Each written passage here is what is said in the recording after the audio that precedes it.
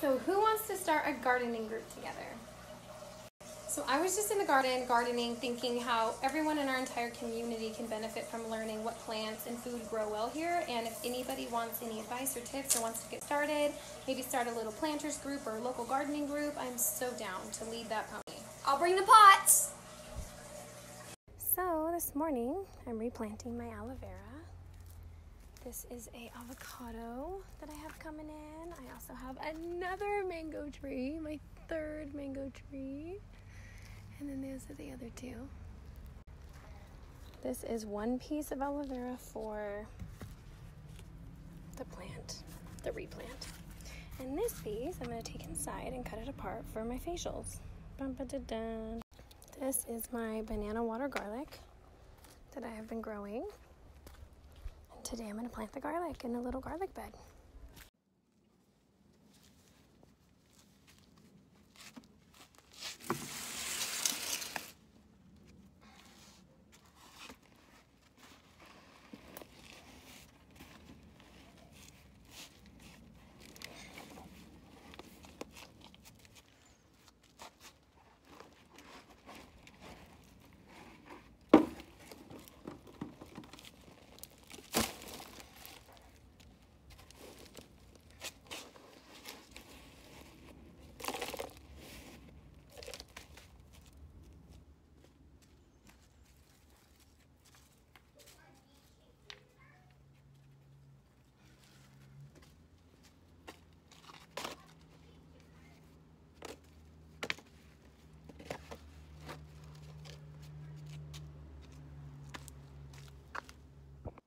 garlic, all the aloe vera, and see on top of the aquarium?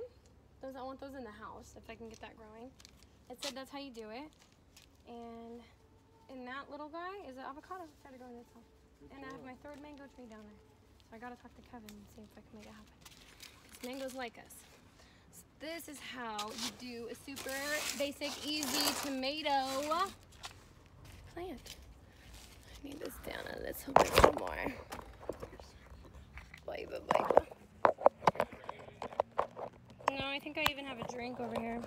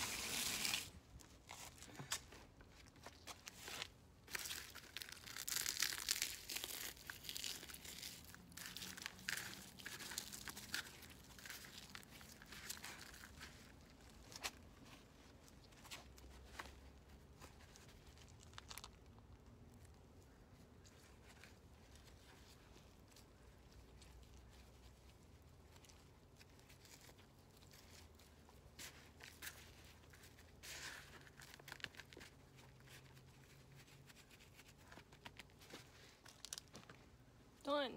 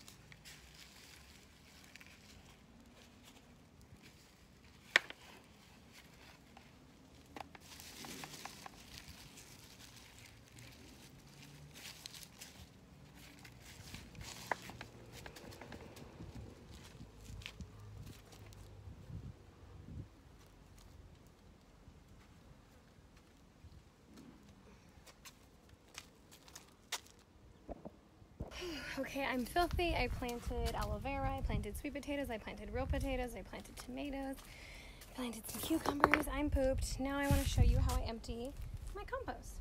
So I spin it a few times, I get it upside down, I empty it into my compost box, which feeds my nectarine tree. Look at all the fruit we're getting this year. It's gonna be her second year fruiting. Last year we only fruited two. So this year we're doing big things. I got my three mango trees, one, two, three, and my sweet potatoes. So this is how I do the compost. So I planted this beautiful girl today. There's the grapevine. She's not decided if she likes it there or not. This is some amazing smelling lavender we have. And this is a plant flower from Hawaii. It produces the type of flowers that you will see on a lei when you enter Hawaii straight off the plane. Thank you, Dad, so much for my beautiful plant. It's thriving. I gotta figure out what's going on here, though.